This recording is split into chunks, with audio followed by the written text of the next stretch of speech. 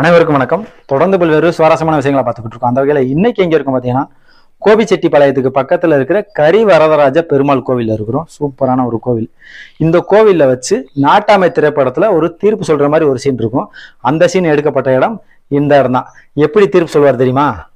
என்னால முடியாது நீ தான் வச்சுக்கணும் நிறுத்துங்களா பத்து பதினஞ்சு வருஷம் வளர்த்ததுக்கே பெத்த பசங்க வளர்த்த பசங்க வாதாடுறீங்களே.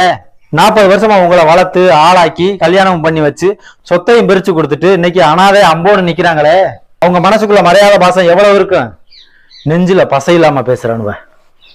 பத்து மாசம் சுமந்து பத்தியம் இருந்து தொட்டில போட்டது அம்மானா? பத்து காசு சம்பாரிச்சாலும் அதை பத்திரமா கொண்டு வந்து வீட்டுல வந்து கொடுத்து சோறாக்கி கொடுக்க சொல்லி உங்களை தோல்ல போட்டு வச்சது உங்க அப்பன்டா.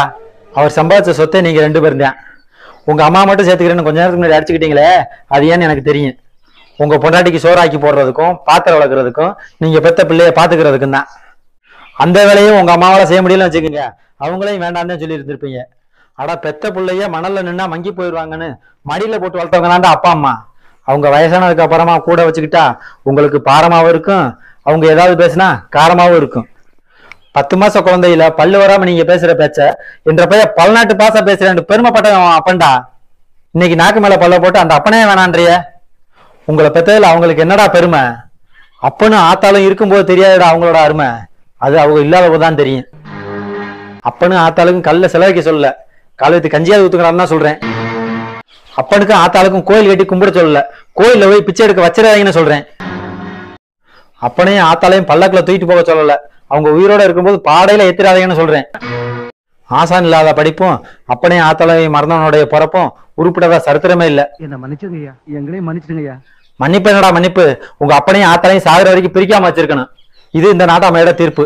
தப்பி இதை மீறினா இந்த எட்டுப்படி கிராமத்துல நீங்க குடும்பம் நடத்த முடியாது.